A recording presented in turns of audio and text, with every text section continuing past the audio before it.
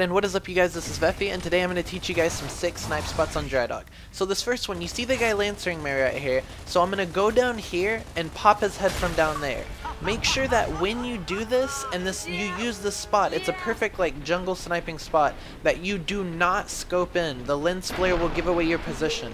It's a perfect place to snipe people that are crossing from down there or anywhere in that vicinity without them seeing you. Now this next spot is demonstrating when you get in an issue where there's someone in front of you right about there, you're going to pull back and snipe him through this little pillar. You'll see it right there. And you're going to tag him and then push out with your Lancer or Gnasher or whatever you have as your secondary. It's a great way to make a push and they will never suspect a thing whenever you go to hit them. Uh, it's it's actually one of my favorite things to do in that spot.